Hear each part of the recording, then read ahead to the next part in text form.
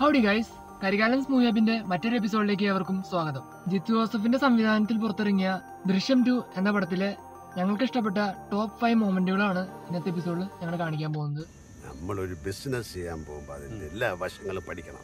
സാബുവും സരിതയും shadow police ആണെന്ന് അറിയുന്ന ഒരു രംഗമാണ് നമ്മുടെ ലിസ്റ്റിൽ നമ്മൾ ആദ്യം തന്നെ ഉൾപ്പെടുത്തിയിരിക്കുന്നത്. ആ ഇത് സാബു ഇത് സരിത. സാർ ഇവർ ഷാഡോയ ജോർജുട്ടിയുടെ കുടുംബവുമായി വളരെയധികം അടുപ്പമുള്ള രണ്ട് വ്യക്തികളാണ് സാബുവും സരിതയും. അവർ രണ്ടുപേരും ഷാഡോ പോലീസ് ആണെന്ന് അറിയുന്നത് സിനിമയിലെ ഒരു പ്രധാന ട്വിസ്റ്റുകളിൽ ഒന്നാണ്. അടുത്തായിട്ട് നമ്മൾ ലിസ്റ്റിൽ ഉൾപ്പെടുത്തിയ രംഗം ഗീത പ്രഭാകര് ജോർജുട്ടിനെ തല്ലുന്ന സീനാണ്. നിങ്ങൾ എല്ലാരും വീട്ടിൽ കിടന്നുറങ്ങി. തീയതി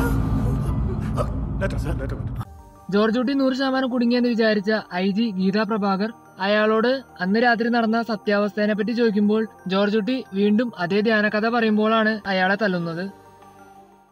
അപ്പോ നമ്മുടെ ലിസ്റ്റിൽ മൂന്നാമത് ഉൾപ്പെടുത്തിയ രംഗം എന്ന് വെച്ചാൽ ഐ ജി ഗീതാ പ്രഭാകറിന്റെ മോനായ വരൺ പ്രഭാകറിന്റെ ബോഡി പോലീസ് സ്റ്റേഷനിൽ നിന്നും കണ്ടെത്തുന്ന രംഗമാണ്. ഇനി സെക്കൻഡ് ഷോയ്ക്ക് പോയാലോ. ചേട്ടൻ പോലീസ് സ്റ്റേഷനാ പൈനെ കുഴിച്ചിട്ടിരിക്കുന്നത് തോമസ് ബാസിൻ എന്ന പോലീസുകാരന്റെ കുറെ വർഷത്തെ കഠിന പ്രയത്നം കാരണമാണ് ഈ കേസിന് ഒരു തുമ്പുണ്ടാക്കാൻ സാധിച്ചത്. പിന്നെ ഈ സിനിമയിലെ മിക്ക ടിസ്റ്റുകളും കൊണ്ടുവന്നിരിക്കുന്നത് ഈ കഥാപാത്രമാണ്. ഇനി ഞങ്ങളുടെ ലിസ്റ്റിലെ അടുത്ത രംഗം എന്ന് വെച്ചാൽ വിനയ് ചന്ദ്രൻ എന്ന് പറഞ്ഞ കഥാപാത്രം ജോജൂട്ടിയെ ഇൻഡയറക്റ്റ് ആയിട്ട് സഹായിക്കുന്നതാണ്. ആ വിവരങ്ങളുടെ അടിസ്ഥാനത്തിൽ ഒരു ഓൾട്ടർനേറ്റീവ് ക്ലൈമാക്സ് ജോർജ് കുട്ടി എന്നോട് പറഞ്ഞു. ചുരുക്കി പറയുകയാണെങ്കിൽ ഇൻഡയറക്റ്റ് ആയിട്ടാണെങ്കിൽ പോലും ഈ ഒരു കഥാപാത്രത്തിന്റെ സഹായത്തിലൂടെയാണ് ജോർജുട്ടി താനുണ്ടാക്കിയ മാസ്റ്റർ പ്ലാൻ പൂർത്തിയാക്കിയത്. ഇനി ഈ ലിസ്റ്റിലെ ഒന്നാമതായി നമ്മൾ സെലക്ട് ചെയ്ത രംഗം തോമസ് ബാസിൻ എന്ന് പറഞ്ഞ പോലീസുകാരൻ ജോർജുട്ടിയെ എ ക്ലാസിക് ക്രിമിനൽ എന്ന് പറഞ്ഞ് വിശേഷിപ്പിക്കുന്ന രംഗമാണ്.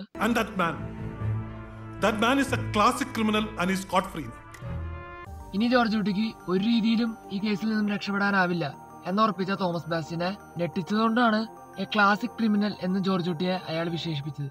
അപ്പൊ ഇന്നത്തെ എപ്പിസോഡ് നമുക്ക് വൈൻഡപ്പ് ചെയ്യാനുള്ള സമയമായി. ഇതെല്ലാമാണ് ദൃശ്യം ടു എന്ന സിനിമയിൽ ഞങ്ങൾക്ക് ഇഷ്ടപ്പെട്ട ടോപ്പ് ഫൈവ് രംഗങ്ങൾ.